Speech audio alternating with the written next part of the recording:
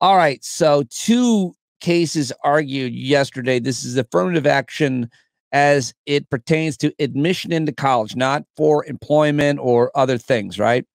Technically, it only applies to co- colleges and universities, yes. And what does the Constitution say about affirmative action? Absolutely nothing. What the Constitution says in the 14th Amendment and what the court said in Brown versus Board of Education is that excluding people from public schools on the basis of race violates the Equal Protection Clause, which it clearly does. N- today's cases involve the University of North Carolina at Chapel Hill and Harvard. Technically, Harvard is not bound by the Constitution because it is a private actor. Chapel Hill is bound by the Constitution, but there's a federal statute that requires that anyone receiving federal funds not discriminate on the basis of race.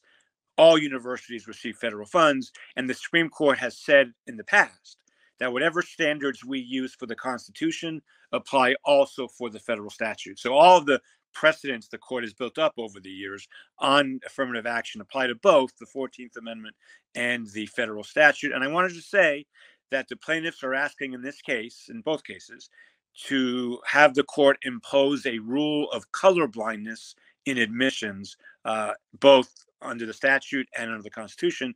And I want to say, Pete, and and I'm not equivocating here at all. In 1978, the court was asked that question and said no. In 2003, the court was asked that question and said no. In 2016, the court was asked that question and said no. Three huge precedents, all rejecting it this court is going to accept it. And they're going to accept it after not one, there was almost no discussion today about this thing we call precedent or stare decisis. Almost no discussion at all, even though one of the questions presented, which is the technical way of saying what's the case about, was should the court overrule this case called Grutter versus Bollinger from 2003, mm. where the court rejected colorblindness. So not only is the court going to reverse that case, it's going to reverse that case without asking any questions about whether it should reverse that case.